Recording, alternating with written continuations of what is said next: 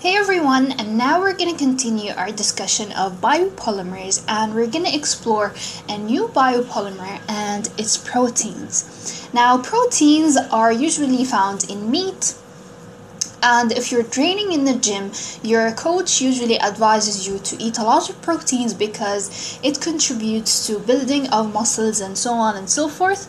So, proteins are made up of something called as amino acids. And amino acids are also found in your body and in the plants in order to make proteins.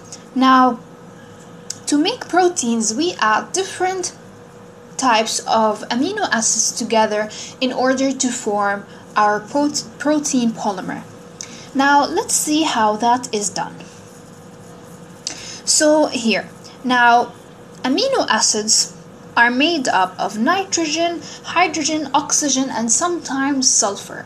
So here we have four different amino acids, and they are different because the radical right there, this radical and this radical and this radical, they are different from each other. That's why they are different types of amino acids. The radical is the element not the element, but it's the group that differentiates between different amino acids. Now, here we have four different amino acids, and we react them together in order to form a protein. Now, in this reaction, it's a condensation polymerization reaction and we're gonna lose a water molecule. So this is the water molecule that's gonna be lost. So we have one, two, three water molecules that are gonna be lost. Now, the protein that's gonna be formed is the following. Now, we can represent this reaction in a more simpler way. So we can write it as the following NH, and then we have a box which represents the backbone or the radical and then we have the carbon double bonded to the O and then we forgot about the OH and then we bond it to the end right there. And then another H.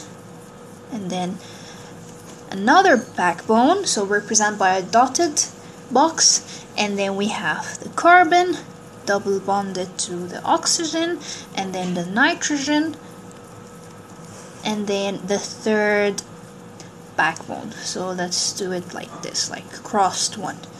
To represent that it's a different backbone. So this is our protein. It's made up of different types of amino acids. That's why we have different backbones and different squares right there.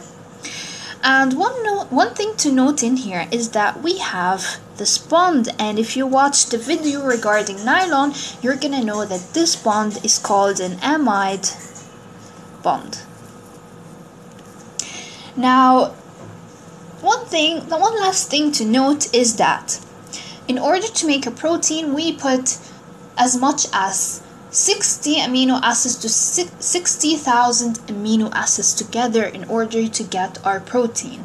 And every time we add an amino acid, we lose a water molecule since it's a condensation polymerization. So that's it for making proteins. Let's recap.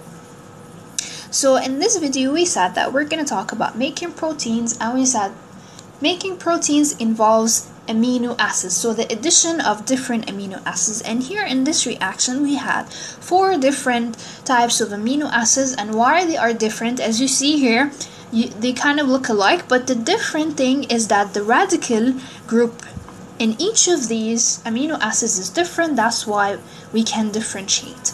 Now here we represented our reaction in a more simpler way and the boxes are different since they are different amino acids that make up this protein. And we also noted that there's an amide bond between each box. Now that's it for this video. In the next video we're gonna be talking about fats. So stay tuned and good luck